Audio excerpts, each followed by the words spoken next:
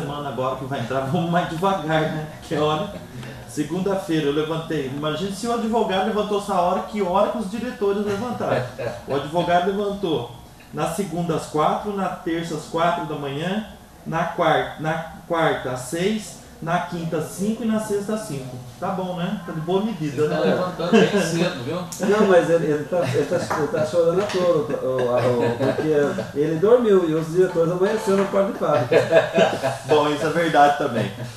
Bom, vamos lá. É importante aí lembrar a, todos, a todo mundo que a partir do ano que vem tem o plano de transferência da TRBR, tem o plano de transferência da Faurecia, que ainda o sindicato vai estar negociando com os trabalhadores dessas empresas, independente de abono, independente de nada.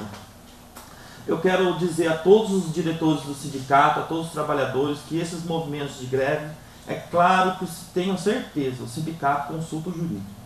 Pode ter certeza. O sindicato não faz nada da cabeça dele. Consulta o jurídico sim, até para ele ter as iniciativas que ele precisa fazer. A viabilidade. Graças a Deus tudo deu certo. Então agradecer a todos os diretores, agradecer a todos os trabalhadores que se empenharam e tiveram êxito.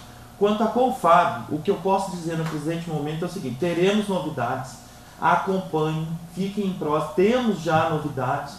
A diretoria da Confab, dos diretores, dos diretores do sindicato, a diretoria do sindicato da Confab, nós estamos em constante conversa, estamos nos reunindo para promover novidades para vocês em breve. Acompanhem que em breve vai ter novidade e vai ser importante para todos.